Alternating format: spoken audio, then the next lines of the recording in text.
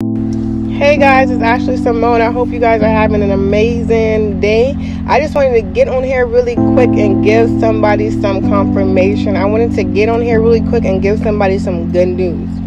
So, number one, if you are going after something that God has shown you the vision to do, if you are starting a business that God has showed you to start, and it seems like the devil is just attacking you. As soon as you start, the devil just keeps attacking you, attacking you, attacking you. That's because God has told you to do that. And if He didn't tell you to do that, there wouldn't be no no confusion. There wouldn't be no envious people. There wouldn't be no jealousy. There wouldn't be no oh why are you doing this? Why you why are you doing that? You can't do that. Who are you to do that?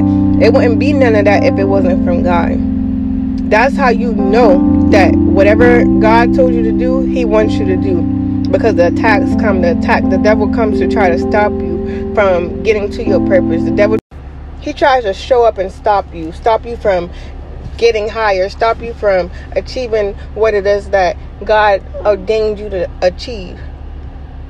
But listen to this the devil cannot do nothing that God doesn't allow him to do. So whatever you're going through, you're going through it for a reason. When those tests and those trials and those things come up against you to make you feel like, man, I don't even want to do this no more if it's going to be all of that. No, you just stand through it. I know it don't feel good, but that's okay. You stand through it because the prize at the end, ooh, shut that over, shut the, the prize at the end. The prize at the end. Oh, hallelujah, Lord Jesus. The prize at the end is worth it all. It's worth it all. And y'all, I pray that y'all are having an amazing day, and I'll be back later. Bye.